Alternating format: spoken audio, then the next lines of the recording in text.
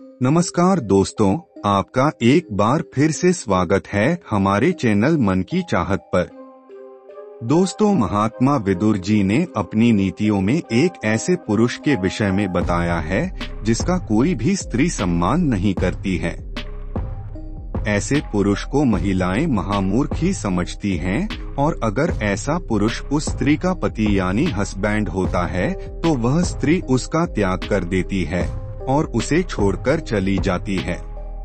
का भी सामना ऐसे पुरुषों से कहीं ना कहीं ज़रूर हुआ तो होगा ही। विदुर जी ने ऐसे पुरुषों के छह लक्षणों के बारे में बताया है। अगर किसी भी पुरुष में इनमें से एक भी लक्षण दिखाई दे अथवा उसके बिहेवियर में ऐसी हैबिट्स दिखाई दे तो समझ लेना चाहिए कि ऐसा पुरुष सबसे बड़ा मूर्ख और यम दर्जे का है। ऐसे पुरुष के साथ ना कभी मित्रता करनी चाहिए और ना कभी उसे अपने घर पर बुलाना चाहिए, नहीं तो लोग आपको भी उसके जैसा मूर्ख समझते हैं। इसके अलावा अन्य नीतियों में भी ऐसे पुरुषों का वर्णन किया गया है। लेकिन सबसे महत्वपूर्ण लक्षण विदुर जी ने अपनी नीतियों में बताए हैं, जिसे प्रत्येक मनुष्य को अवश्य जान लेना चाहिए। अगर आपके भी अंदर इनमें से एक भी लक्षण हो तो उसका जितना जल्दी हो सके त्याग करें। आपके अंदर भी ऐसी आदतें हैं अथवा बैड हैबिट्स है तो जल्दी ही उन्हें छोड़ दें, नहीं तो बाद में बहुत पछताना पड़ सकता है। अगर आप विदुर जी के बारे में नहीं जानते तो आपको बता दें कि विदुर जी कोई साधारण मनुष्य नहीं थे। वे साक्षात धर्मराज के ही अवतार थे। मांडव्य ऋषि के श्राप के कारण धर्मराज को विदुर जी के रूप में एक दासी के गर्भ में जन्म लेना पड़ा था। विदुर जी महाभारत के केंद्रीय पात्र में से एक थे। वे हस्तिनापुर के एम्पायर के महामंत्री कौरवों तथा पांडवों के काका थे। विदुर जी ने अपनी नीतियों में मनुष्यों के लिए बहुत ही महत्वपूर्ण उपदेश दिए हैं। ये उपदेश आपको जीवन में सफलता पाने के लिए बहुत काम आ सकते हैं।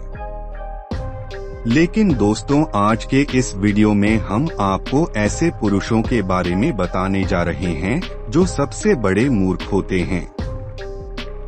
विदुर जी के अनुसार, ऐसे पुरुष अपनी मूर्खता के कारण समाज में बार बार अपमानित होते रहते हैं। इनका कोई सम्मान नहीं करता और न ही कोई इनकी बातों को महत्व देता है। ऐसे लोगों का जीवन किसी पशु की भांति होती है। ऐसे पुरुषों का सम्मान तो उनकी पत्नी भी नहीं करती है। तो चलिए दोस्तों जान लेते हैं, महात्मा विदुर ही ने ऐसे महामूर्ख व्यक्ति के कौन से लक्षणों के बारे में बताया है। महात्मा विदुर अपने श्लोक में कहते हैं, स्वार्थ या परित्याग या परार्थ मन उत्तिष्ठ अति मिथ्याचार थी। मित्रा थे यश मूढ़ हंसा उच्चते इस श्लोक में उस पुरुष के लक्षणों का वर्णन किया गया है। तो चलिए जान लेते हैं उस व्यक्ति के लक्षणों के बारे में। सबसे पहला है स्त्री से आज्ञा लेने वाला। विदुर जी के अनुसार जो पुरुष स्वयं कुछ नहीं करता, बल्कि अपनी पत्नी की कमाई पर राहत है, उससे आज्ञा लेकर कार्य करता है। ऐसा व्यक्ति मूर्ख होता है, जो पुरुष पुरुषार्थ नहीं करता, बल्कि घर में ही रहकर स्त्री की आज्ञा का पालन करता है, उसी के कहने से चलता है, और दास की तरह उसकी सेवा करता है। ऐसे पुरुष नपुंसक और हिजड़े होते हैं। इनका कोई आत्मसम्मान नहीं होता है। जो अपना पेट भरने के लिए पत्नी से काम करवाता है। ऐसे पुरुष को संसार में कोई सम्मान नहीं मिलता है। ऐसा मूर्ख पुरुष तो दूसरों की स्त्रियों से भी आज्ञा लेकर उनके कार्य करता है। इसीलिए ऐसे पुरुषों को जीवन भर अपमान का ही सामना करना पड़ता है। दूसरा है थोथी बातों पर खुश होने वाला महात्मा विदुर कहते हैं। जो भी पुरुष स्त्रियों द्वारा की गई थोथी बातों पर खुश होता है, अथवा स्त्रियों के हाव भाव से तुरंत प्रभावित होता है, वह अत्यंत मूर्ख होता है। ऐसा पुरुष स्त्रियों के हाव भाव से प्रभावित होकर तुरंत ही अपना पराक्रम देखने आगे आता है और अपमानित हो जाता है। स्त्रियों द्वारा भड़काए जाने पर अनिष्ट कार्य करता है।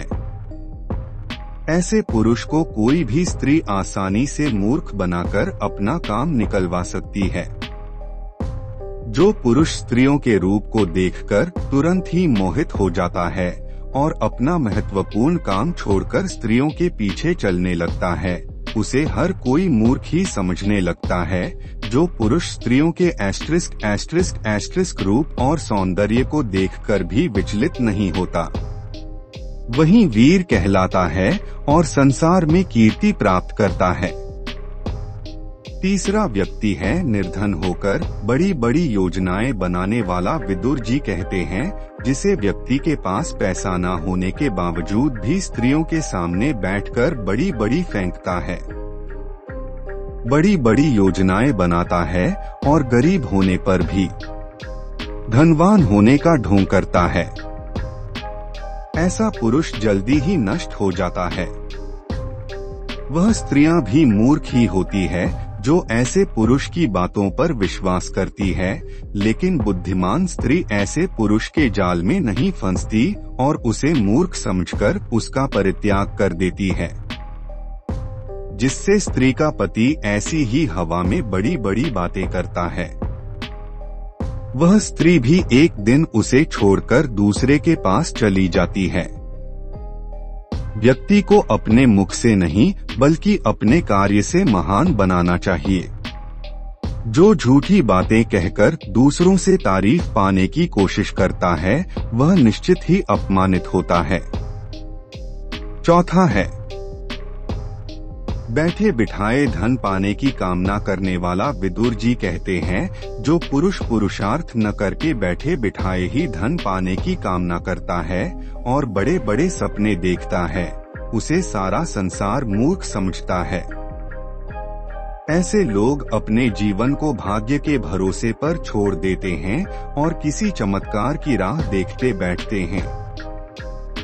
शास्त्र कहते हैं कि मनुष्य को धन पाने के लिए पुरुषार्थ करना पड़ता है, अर्थात कर्म करने पड़ते हैं। सोए हुए शेर के मुख में हिरण अपने आप आकर नहीं घुस जाता, बल्कि उसे भी मेहनत करनी पड़ती है। सामने पड़े हुए खजाने को उठाने के लिए भी पुरुषार्थ करना पड़ता है। इसीलिए केवल भाग्य के भरोसे पर जीवन नहीं चलता। उसके लिए कर्म भी करना पड़ता है। पांचवा है अकारण ही क्रोध करने वाला विदुर जी कहते हैं मूर्ख पुरुष में यह लक्षण होता है कि वह अकारण ही क्रोध करता है छोटी छोटी मूर्खतापूर्ण बातों पर क्रोध करने लगता है, किसी के भी भड़काने से भड़कता है, प्रतिशोध लेने की झूठी कस्में खाता है, और अपनी जान को अकारण ही जोखिम में डालता है। अपनों पर संशय करता है और शत्रुओं को मित्र मानता है। और छठी बात है, स्त्रियों के काम में दखल देने वाला एक मूर्ख व्यक्ति में यह लक्षण होता है कि वह पुरुषों वाले काम करना छोड़कर स्त्रियों के काम करने लगता है। ऐसे पुरुष को स्त्रियों के साथ काम करने में आनंद आता है, जिससे स्थान पर स्त्रियाँ दिखाई दे। यह उस स्थान पर पहुँच जाता है। ऐसे पुरुष जहाँ पर औरतें काम कर रही हो, ऐसे स्थान पर जाकर दखल देता है, जिससे स्थान पर औरतें ना हो। ऐसे स्थान पर इन पुरुषों का मन नहीं लगता। इन्हें पुरुषों से अधिक स्त्रियों के साथ क्रीड़ा करने में खुशी मिलती है।